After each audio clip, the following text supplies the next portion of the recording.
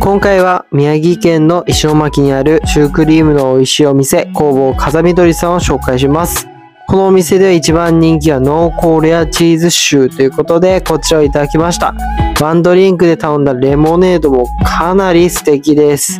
この組み合わせ、最強です。これが噂のシュークリームです。レモネードも映えております。さて、こちらのシュークリーム、なんと、見た目の通り、表面はサクサクで中が濃厚なんですね。すごく美味しかったです。実際、視聴者のために断面をお見せしようとして、スプーンでほじくったんですが、なかなかこれがうまくいかなかったです。ちょこっとだけお見せしましょう。こんな感じです。伝わりますかね？店内から出ると帰りたくないとダダをこねている少女がいました。2人もいました。気持ちはすごくわかります。店内には様々な作品もありますので、ぜひ行ってみてください。